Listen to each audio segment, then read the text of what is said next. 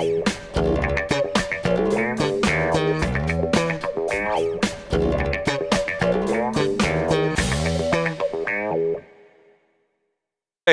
uh, Streaming Wars update. This one I have a lot to read from, so I may not read the whole thing. But okay. For years, Disney has been keeping 80% of the revenue from older shows that it distributes to streaming platforms, leaving only 20% to be available to stars and other profit participants. Profit participants. That's I never heard that. Okay. It does so by classifying the revenue as home video under a formula Mhm. dating back dating from the introduction of the VCR. Uh, Disney subtracts 80% uh, uh, royalty to an in-house distributor to cover the costs of distribution. In 2017, Bill Nye star Bill Nye the Science Guy challenged that practice, calling it yet another example of Hollywood accounting. In a lawsuit in Los Angeles Supreme Court, Nye argued that the actual distribution costs for platforms like Netflix and Amazon Prime are minimal and that Disney is essentially making millions of dollars off the top without justification. But earlier this month, a judge sided with Disney. Judge David Cowan ruled that Nye's 1993 contract allows the studio to continue to classify streaming and download revenue as home video and to continue to take the 80% royalty. Nye's attorney, Raymond Hammock, said that he would appeal. What do Yeah. you think? Yeah. So this is this is what you call creative accountancy. You know, um, this is what I've been saying for a long time. Remember, I, I what is my my regular mantra? Own physical media. Well, now they're redefining what home media is. So it's no longer physical media. Now Disney is calling what you stream on their channel home media. You Mm. don't own it anymore. If you subscribe to Disney, you can watch it. But if they decide to pull it or to change it or whatever, you no longer get it, even though you paid for it. You go spend $30 to see Mulan, and it'll be there for as long as they choose, and then they'll take it away. And congratulations, you own nothing. Well, apparently you don't get paid anything either. That's what this is. Um, I- I'm, I'm telling you, uh, the uh, they're trying to stick it into the category. This is a quote from uh, the attorney. Uh, they're trying to stick it into the category that will allow them to keep the most amount of money while ignoring why they were entitled to get that to begin Yep. with. Doesn't make sense at all. Managing partner of Johnson and Johnson said, "Home video is not the same as streaming. They're not even close." Well, apparently that judge thought they were close. I wonder if the judge got paid off. I don't know. you know, I this is my biggest problem with with all of these tech rulings. We've got judges. Look, they're judges. I understand they need to understand the law, but they also need to understand the subject that's put before them. They need to take the time to do the freaking work. Understand what you're ruling on. Oh, And if you can't manage to do that, you should say, you know what? I need to remand this to another court because I'm just not freaking intelligent enough to figure this stuff out. Seriously. I Mhm. mean, you're you're making law here. You're you're making decisions that are going to affect, you know, whole industries. You need to make an informed decision. You know, this is people's businesses, people's lives that you're messing with. You're thinking this is some some some um uh, old judge on the bench that basically said, "I don't understand this internet stuff. Sounds like home video to me." You think it's exactly like that, that's you know? It's exactly what i'm saying you know but what it also comes down to is uh the hashtag i just shared in the stream disney hashtag disney must pay and i'm referring specifically to the hashtag foster versus disney where they're not paying their authors.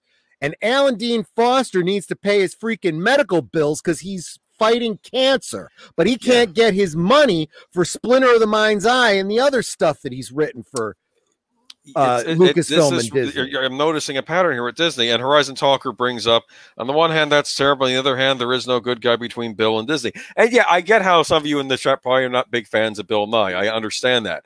But the point is, is that any you know, it doesn't matter. It matters is he's probably owed a lot more in royalties than what he's getting from Disney. Yeah. Except that they're they're they're. I'm telling you, we need to be intellectually honest. I mean, we Yeah. were, back in the green room, we were talking about somebody who is, you know, someone that I don't generally like and don't generally agree with, but he is starting to realize that that the world has gone so far left that even he can't tolerate it.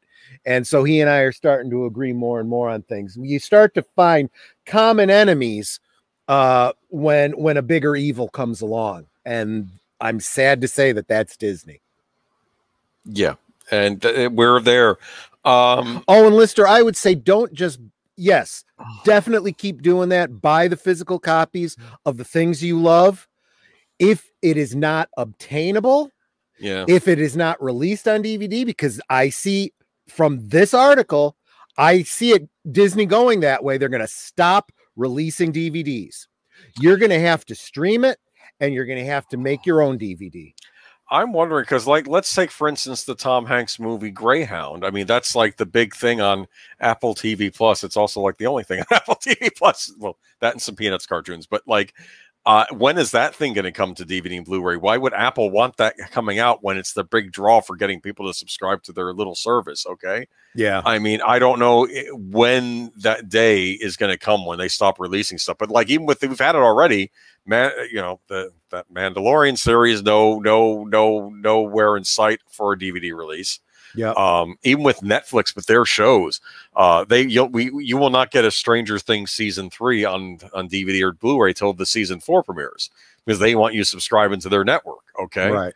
Um, and uh, it's it's uh, I wonder if someday we will see them trying to get rid of Blu-ray and DVD. Uh, Blu-ray players, I have to tell you, they were in trouble because like a lot of the companies, I, I don't even know if they released any new models this past year or whatever. But then um, the um, the beer bug happened. Then suddenly the sale of Blu-ray players and Blu-rays skyrocketed. So I'm mm-hmm. hoping that's saving that market because I mean, right? Because for a while it was starting to turn into a niche market, and I'll be talking more about what that niche market is on uh, Mr. Matchstick stream on Tuesday. But um, uh, you know, uh, I, I worry though that at least the big studios may think, eh, well, do we really need to be doing these Blu-ray releases when we we, we try to kind of want to get people to subscribe to our uh, services? You know. Well, I would say, you know, when it comes to things like uh, I mean, I have a hard time even finding the the Netflix um Marvel series, you know, for for for the US. The the the UK DVDs are easy to find, but it's hard to find them in, for for the US oh, in, I, in any quantity. I'm curious. Um, are you talking like if you want to go like Jessica Jones and and uh Daredevil, Iron Man, and Power Fist, or uh, uh, Iron Fist, Fist and, and Power Power Man, whatever their names were. Iron Fists and Luke Cage, who may be, maybe that was his name. Power Man might have been his name in the comics. Yeah. Okay. But yeah, anyway, but um no, I'm wondering because I know that they did put Daredevil on on on home video, but I'm wondering too. I'm gonna tell you, I was on Best Buy the other day, mm-hmm. and I've tried looking at Amazon. It's getting harder and harder to find DVDs that you want. One thing I notice on Best Buy lately is I find a DVD I want and it says sold out. Yep. That's nice, Best Buy, that it's sold out. Um, can I still order it? And then when you get it back in stock, you send it to me. It just says sold out. Yep. I'm seriously, I don't know what's going on. I honestly okay? think yeah. that it's, it's, I don't think they know either. What's happening is yeah. they're a distributor and they want to sell it. They can't get it. And I think what's happening is there's very limited uh, quantities of these things going out there may be some legal reason that they have to put out something on DVD, but they don't want to. So they put out the minimum amount and then they quash it. And if you want to see it, you got to subscribe to their service. And you watch. There's going to come a day when the contracts are up and they're going to say, "You know what? We're not putting them on DVD anymore. We're done." You want you want to watch, you know, whatever WandaVision, you're going to have to subscribe in order to, to see it. I see no sign of Disney putting any of these series, the, these original series, out on, on Blu-ray or DVD. Um, I got, I get, you know, uh, they, are releasing The Mandalorian season one as a book, so you can read the book. It's like the old Doctor Who episodes. You you'd get to watch the show once, and then if you wanted to see it again, tough luck, in, at least in Britain. Unless you in- in happen Britain. to have it sitting resident on your hard drive and you just happen to press it to DVD Well. I'm talking about in the old Just days. saying. In the old days in England, they would only show Doctor Who. oh once. yeah, I know that. and yeah. and that's All why of have. those lost episodes because they didn't even have them anymore to re-show. A buddy of mine literally collected every single one of the novelizations.